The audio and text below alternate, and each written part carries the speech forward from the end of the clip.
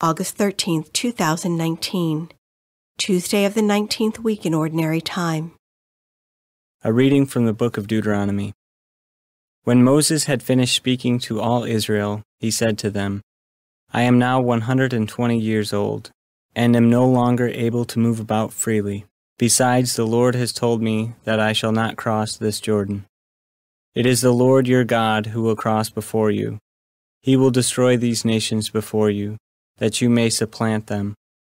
It is Joshua who will cross before you, as the Lord promised. The Lord will deal with them just as he dealt with Sihon and Og, the kings of the Amorites whom he destroyed, and with their country. When, therefore, the Lord delivers them up to you, you must deal with them exactly as I have ordered you.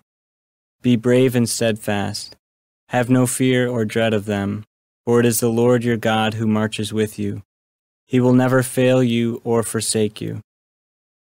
Then Moses summoned Joshua, and in the presence of all Israel said to him, Be brave and steadfast, for you must bring this people into the land which the Lord swore to their fathers he would give them you must put them in possession of their heritage. It is the Lord who marches before you. He will be with you and will never fail you or forsake you. So do not fear or be dismayed. The word of the Lord. The responsorial psalm, the response is The portion of the Lord is his people. For I will sing the Lord's renown. O proclaim the greatness of our God. The rock, how faultless are his deeds, how right all his ways. The portion of the Lord is his people. Think back on the days of old, reflect on the years of age upon age. Ask your father, and he will inform you. Ask your elders, and they will tell you. The portion of the Lord is his people. When the Most High assigned the nations their heritage, when he parceled out the descendants of Adam, he set up the boundaries of the peoples after the number of the sons of Israel. The portion of the Lord is his people.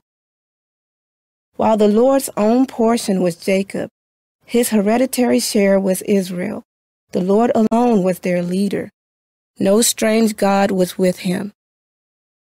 The portion of the Lord is his people.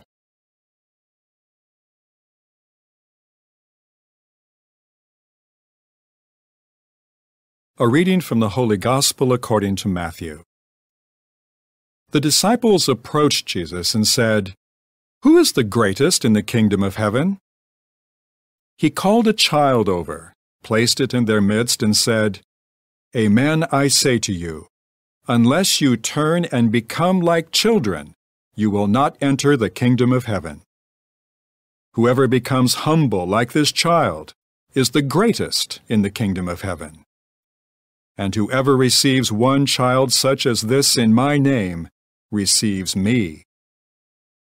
See that you do not despise one of these little ones, for I say to you that their angels in heaven always look upon the face of my heavenly Father. What is your opinion? If a man has a hundred sheep and one of them goes astray, will he not leave the ninety-nine in the hills and go in search of the stray? And if he finds it, Amen, I say to you, he rejoices more over it than over the ninety-nine that did not stray.